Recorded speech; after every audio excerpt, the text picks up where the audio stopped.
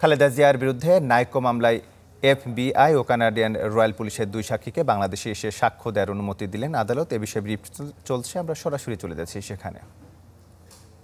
হ্যাঁ এবং উচ্চতর আদালতে উচ্চতর আদালতে বর্তমানে আর কি সম্প্রতি একটা রায়ও হয়েছে যে নাইকো মামলায় দুর্নীতি হয়েছে।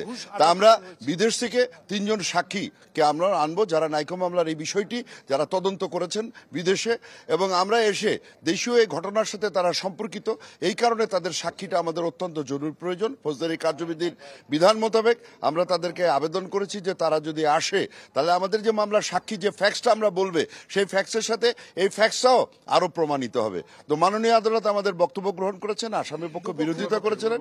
উভয় পক্ষের বক্তব্যের আলোকে এই সাক্ষী আসামি তিনজন সাক্ষীকে মঞ্জুর করা হয়েছে। আমরা আশা করছি আগামী দশ তারিখের পরে ইনশাল্লাহ যে কোনো সময় তাদেরকে হাজির করে পরবর্তী তারিখে আমরা তাকে সাক্ষী দিতে পারি এই সাক্ষীরা কারা কারা? এরা তিনজন বিদেশি আছেন একজন বলেন নাম এফবিআই ইন্সপেক্টর যিনি যিনি ফেডারেল ব্যুরো অফ ইনভেস্টিগেশনের পক্ষ থেকে নাইকো দুর্নীতি নিয়ে আপনার তদন্ত করেছিলেন যিনি জেভরা উনি নিজে ইনভেস্টিগেট করেছেন এবং উনি অ্যাফিডেভিট দিয়েছেন আরবিট্রেশন কাউন্সিলে উনি আছেন আর দুজন আছে রয়্যাল কানাডিয়ান পুলিশের দুজনে মাউন্টেন রয়্যাল কানাডিয়ান পুলিশের দুজন ইন্সপেক্টর তারাও ইন্ডিপেন্ডেন্ট অ্যাপার্ট ফ্রম এফবিআই তারাও তদন্ত করেছেন। তদন্ত প্রমাণিত হয়েছে নাইকোর দুর্নীতি এবং সেখানে বলা হয়েছে নাইকো একটা করাপ্টেড কোম্পানি যেটা সম্প্রতি আমাদের আপিল বিভাগের পূর্ণাঙ্গ একটি রায় সেটার আমরা কিছু আজ পেয়েছি।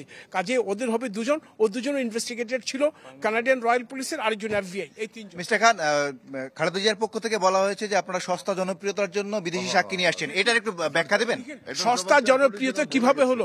একটা দুর্নীতির আমরা মামলা প্রমাণ করার জন্য দেশের বাইরে বিদেশে যে তদন্ত হয়েছে যারা তদন্তকারী কর্মকর্তা তাদেরকে আমরা সাক্ষ্য হিসেবে আনার চেষ্টা করেছি যেখানে তারা ক্রস করতে পারবে। সেখানে তো ওনাদের অ্যাপ্রিসিয়েট করা উচিত।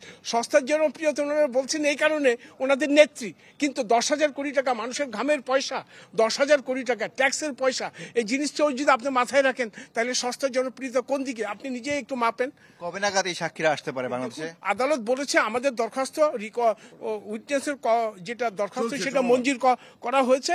পিডব্লিউ ওয়ানের জবানবন্দি যখন জবানবন্দি শেষ যখন যারা শেষ হবে তখন উনি সামস দিবে। কাজে আমাদেরকে অপেক্ষা করতে হবে পিডব্লিউ ওয়ানের যেটা যারা সেটা কখন শেষ হয়?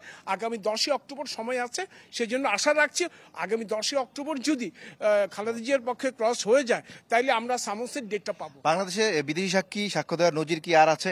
আরও অনেক আছে। আপনার আরাফাত রহমান কোকের মামলা মানি লন্ডারিং মামলায় একজন এফবিআই ইন্সপেক্টর সাক্ষী দিয়ে গেছে এখানে ওনাকেও সামস দেওয়া হয়েছিল।